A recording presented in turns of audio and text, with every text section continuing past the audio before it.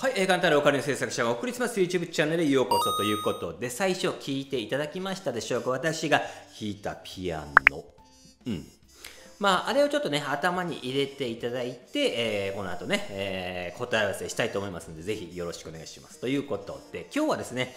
えーメールが来まして、いきます。えー先日の平本さんの YouTube 撮影機材楽しく拝見しました。ありがとうございます。まあ、こういうマイク使ってますよとかっていうやつですね。えで、また自分で、えー加工した音源をお送りします。あの、よく知ってる方なんで送っていただきました。で、聞かせていただきました。はい。えーなんとなくのっぺり聞こえます、えー味のある音色、味のある演奏を目指しております。よろしくお願いします。ということで、はい。で、この方ですね、あのかなり上手な方ですね。まあ、セミプロって言っていいぐらいの人なんですけども、あの自分で録音して、おそらく、あのまあ、音をいじってるかなっていう気がして、まあ、リバーブとか、えそういうのを送ってきてくださいました。で、僕も聞かせてもらった時に、えーなんか味がない、うん、のっぺりとしてるということなんですけども、えっ、と、まあ、一言で言うと、ちょっとね、音をいじりすぎなんですね。うん。で、まあもちろんマイクで、えー撮るとあ音に加工ができるっていう話をしたと思うんですけども、これ加工しすぎちゃうと味がなくなっちゃうんですよ。うん。いわゆる人間味がなくなっちゃうんですね、音に。っていう風だよっていうことをちょっとね、この方に伝えたんですけども、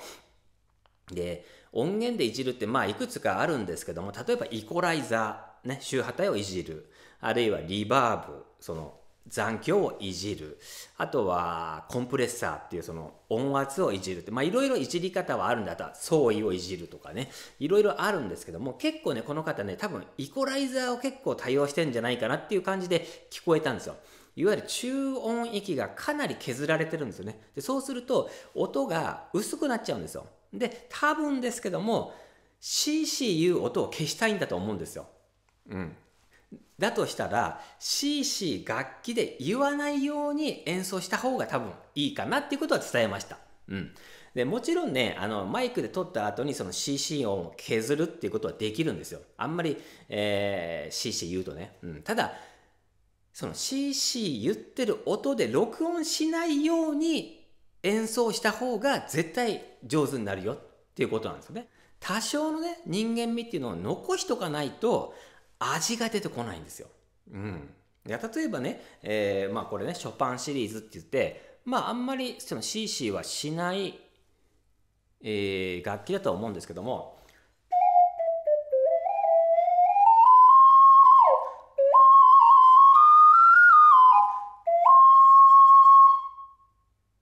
うん。あんまり多分しないと思います。これマイクでは拾ってますけど、音の加工は一切してません。なので、まあ、このぐらいが実は一番味が出るんですよ。で、これをやりすぎちゃうと、なんかね、あの、今、その、うん、カメラでもいろいろあるじゃない？美白になるカメラとかアプリでね。あとはこう小顔にピロってなっちゃうとか。あれ一見いいんだけどなんかちょっとこう味ないでしょ、うん、これね僕カメラで撮ってるけど全く何もしてないからこのまんまの顔、うん、これが46歳。でこれが味があるわけよ、うん、だからそれでやっぱりプロっていうのは、まあ、多少は加工しますけども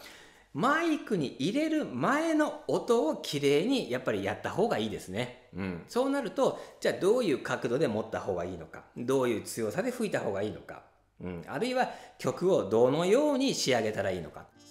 皆さんはじめまして。カンターレ講師の新野弘樹です。まあ、それをマイクで拾ってその後に最後に加工ですね。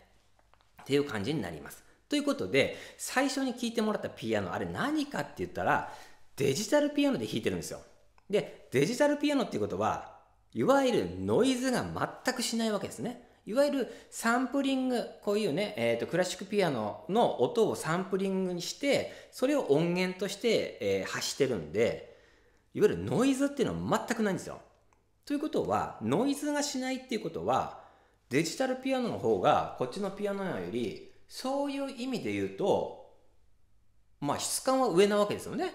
でも例えばショパンピアノコンクールでデジピで弾くってことからまずありえません。今後もありえないです。絶対に。なぜなら味がなくなっちゃうんですよ。だからやっぱりそのね弦の響きとかこの、えーボディの響きとかちょっとした不具合があった方がいいんですよ。で、しかもですよ、あの今すごくね、なんていうかな、